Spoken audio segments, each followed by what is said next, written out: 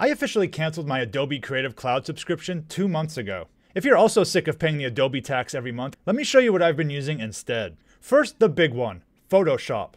There's two main ways that people use Photoshop. Some people use it to edit photos, but others use it for digital painting. So let's look at them separately. First, photography. A great alternative is Affinity Photo. Available on Windows, Mac, and iPad, you only have to pay once for the major versions and it's yours.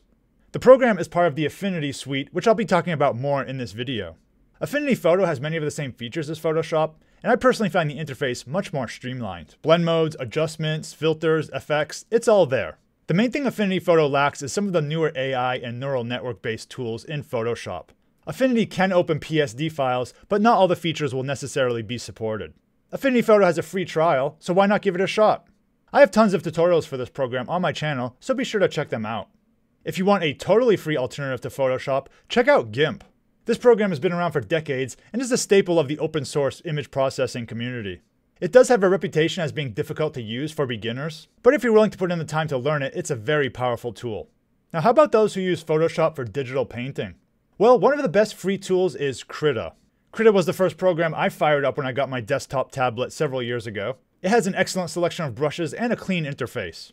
You can use it on Mac, Windows, and Linux.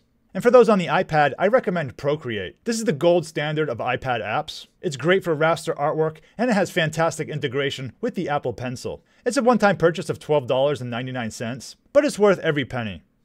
Now let's look at Premiere Pro. This is probably the easiest program in the entire Adobe suite to replace, and that's because of DaVinci Resolve. This free video editor has more powerful tools than most paid software. There is a paid version, but I've never come close to needing it.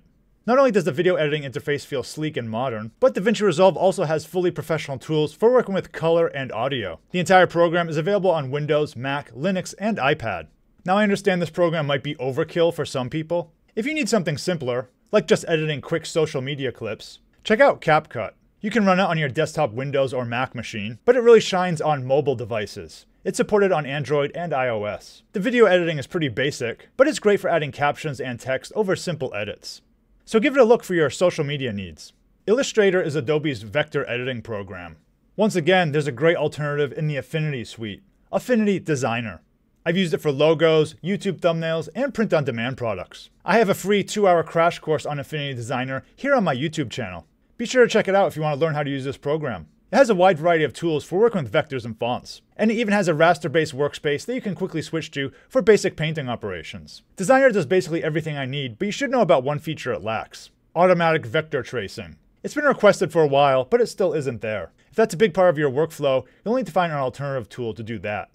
If you want a totally free alternative to Illustrator, you can check out Inkscape. Available on Windows, Mac, and Linux, this tool also has a rich feature set that you can use for cartoons, logos, typography, and more. Now let's look at InDesign. This is commonly used for sophisticated page layouts like brochures and ebooks. Affinity Publisher is Affinity's answer to InDesign. Publisher has nice page layout options and smart text reflowing. Like all the Affinity programs, it's available on Windows, Mac, and iPad. So we've seen three programs in the Affinity suite. You can buy them individually, but the best deal is to buy the Universal license. That includes all three programs across all three platforms, Windows, Mac, and iPad. Be sure to keep an eye out for sales throughout the year especially after Adobe does something annoying like raise their subscription prices. Another alternative to InDesign you may want to look into is Canva. It's a web-based application with a freemium model, but the free version is actually pretty good. Canva has way less features compared to desktop apps like InDesign and Publisher. If you're looking for things like blend modes and sophisticated masking, you won't find them in Canva. But one of Canva's strengths is its huge library of templates. Marketing materials, social media templates, even school worksheets. There's a ton of stuff there. Canva is often the first place I look when I need to quickly create a presentation template or some type of website banner. Now we come to After Effects, Adobe's motion graphics tool. This is probably the hardest Adobe program to replace. Now, I've never been an After Effects power user by any means, but here's some software that my After Effects focused friends have recommended. First, we return to DaVinci Resolve and its Fusion engine. Fusion is the motion graphics and special effects tool that is developed by Blackmagic Design the team behind DaVinci Resolve. It's been used for hundreds of well-known Hollywood movies. Just like DaVinci, there's a free and paid version, and the free version provides more than enough for the average user. If you've installed DaVinci Resolve, you already have Fusion built in. When working on a video editing project, you can switch over to Fusion with the click of a button. It can be a little intimidating to start with, especially if you're not comfortable with a node-based workflow, but there's a wealth of information online to learn from. Now, another option for motion graphics is Blender. Blender is another poster child for free and open source software that competes head to head with paid competitors. Its primary use case is 3D modeling, but many people use it for animation and motion graphics as well. Just expect a steep learning curve. Next, we look at Lightroom. And like After Effects, I've never been a huge Lightroom user, but I know it's something that a lot of people want to replace. Now, Affinity Photo does have the ability to edit raw photos, but it isn't really designed for mass storage and organization of your photos. The free alternative I see mentioned the most is Darktable. It's free and available on Windows, Mac, and Linux, so you can easily give it a try and see if it meets your needs. Have you replaced any of your Adobe software? Let me know down in the comments below. Also, I make tutorials for many of the programs I mentioned in this video, Affinity, DaVinci Resolve, and Canva. Click the subscribe button if you want to be notified when more tutorials come out. Thanks for watching, and see you in the next video.